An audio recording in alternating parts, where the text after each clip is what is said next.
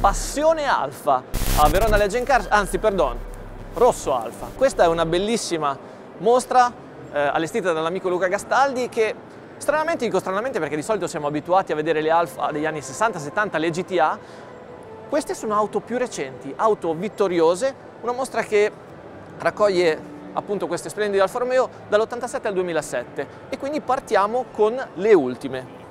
Mi riferisco alla 156, questo è un esemplare che eh, ha corso fino agli anni 2006-2007 con la scuderia Autodelta e nel 2005 in configurazione Super 2000 che come sapete correva anche nei rally è arrivata seconda al campionato eh, mondiale turismo. Ma questa forse è la 156 un pochino più rappresentativa conosciuta come GTA eh, questo è un esemplare del 2000 eh, super mega stravittorioso perché nell'europeo dal 2000 al 2003 ha raccolto ben quattro campionati dal 2000 al 2002 con eh, Giovanardi, mentre nel 2003 con Tarquini. Venite un po' a vedere il motore che abbiamo chiesto di lasciare aperto perché vale la pena dare un'occhiata. Questa configurazione più o meno come la Super 2000 eh, erogava 275 cavalli, comunque la macchina poco meno di 1000 kg se non ricordo male, quindi prestazioni assolute. E con un'auto simile a questa anche il nostro direttore di teammotosport.com Franco Nunez corse nel 98 in un campionato monomarca dove c'erano ben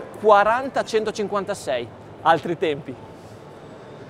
E se Larini nel 93 ha fatto conoscere all'Europa, al mondo, la 155 più estrema, su questa 155 D2 eh, c'è un aneddoto da, da, raccontare, questa è una macchina vabbè, derivata dalla Silverstone che conosciamo, ma proprio questa vettura appartiene a Tarquini che nel 94 vinse il campionato inglese turismo, il BTCC con 8 vittorie e all'inizio dell'anno comunque ci fu una scommessa con l'allora direttore tecnico Giorgio Pianta, se vinco la macchina è mia, con 8 vittorie vinse e appunto la macchina appartiene a Tarquini.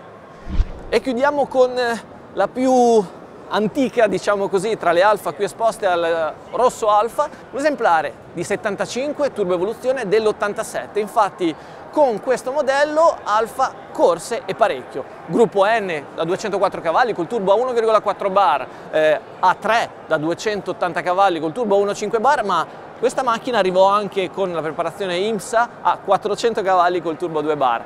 La 75 la conosciamo, sta rivalutandosi perché è l'ultima alfa trazione posteriore e, come dire, piace.